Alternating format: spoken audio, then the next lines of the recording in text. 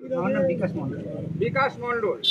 এই যে শাড়ি এবং লুঙ্গি এগুলো কোথা থেকে আপনি কীভাবে কি পালেন সেটা একটু বিস্তারিত আমাদেরকে বলুন। আমি ওনার বাড়ি- মানে বাড়ি না আপনি প্রথম থেকে বলুন যে কি বিষয়টা আপনি টোটাল ডিটেলস বিষয়টা হচ্ছে পার্টির থেকে গাড়িটা কাটতে বিজেপি বিজেপি বাড়ির থেকে গাড়িটা কাটতে ভালো করে এদিকে মুখের দিকে তাকায় বলেন। হ্যাঁ বিজেপি গাড়িটা কাটতেছে। হ্যাঁ। মানে যে দিলীপ পণ্ডিত যে আমার কাছে ছিল যে মালগুলো তুলছে আমার রুম থেকে ওই মালগুলো তুলছে। আচ্ছা তারপরে? তারপরে এখান থেকে গাড়ি তুলে নিয়ে গাড়িতে তুলে নিয়ে গেলাম কুমারগঞ্জ। কুমারগঞ্জ থেকে কিষান মান্ডির উল- উল্টো দিকে মানে কার্যালয় আছে বিজেপি কার্যালয়। এখানে কি জন্য একটা বৈঠক বৈঠক ছিল মিটিং ছিল।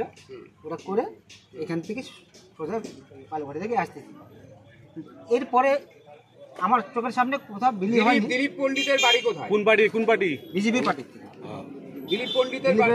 দিলীপ পণ্ডিত বাড়ি সম্ভবত আমি জানি না মানে কথাই শুনছি। কলকাতার এই সাইডে কোথায় যেন বাড়ি আমি জানি না। কোন বিজেপি নেতা? আর কোন বিজেপি নেতা? দিলীপ পণ্ডিত। মানে সেই ব্যক্তির নাম বিজেপি পার্টির যে কর্মী তার নাম দিলীপ পণ্ডিত। আচ্ছা তিনি তার বাড়ি কলকাতা? কলকাতা। আচ্ছা তাহলে এই মালগুলো নির্বাচনী কি প্রচারের উদ্দেশ্যে ব্যবহৃত? সম্ভবত নির্বাচনী মানে ব্যবহারের জন্য এটা মানে ও গাড়িতে তুলছে মনে হয়। আচ্ছা আচ্ছা তাছাড়া কি কি জন্য গাড়িতে তুলছে? আচ্ছা আচ্ছা। ঠিক আছে। আর কিছু প্রশ্ন? টাকা পয়সা কোনো বিলি হয়েছে কি আমার সামনে আমার চোখে আমি শুনুন আমি তো গাড়িতে গাড়িতে আমি বসে থাকি। আমার চোখের সামনে কখনো টাকা পয়সা বিলি হয় আপনার সঙ্গে পরিচয় হলো কেমন করে? পরিচয় দিলীপ দিলীপ পুলিশ আপনার যোগাযোগ হলো কেমন? সেটা পার্টির থেকে? কোন পার্টি? বিজেপি পার্টির থেকে। তো কে কে করে দিয়েছে গাড়িটা? নিজে করেছে না অন্য কেউ করেছে? সেটা বলুন। বিজেপি পার্টির থেকে গাড়ি নিয়েছে। ও আসছে।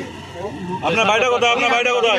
আপনার অ্যাড্রেসটা আমার বাড়ি হচ্ছে নদীর ওপারে রেল স্টেশন চামটা বিকাশ মন্ডল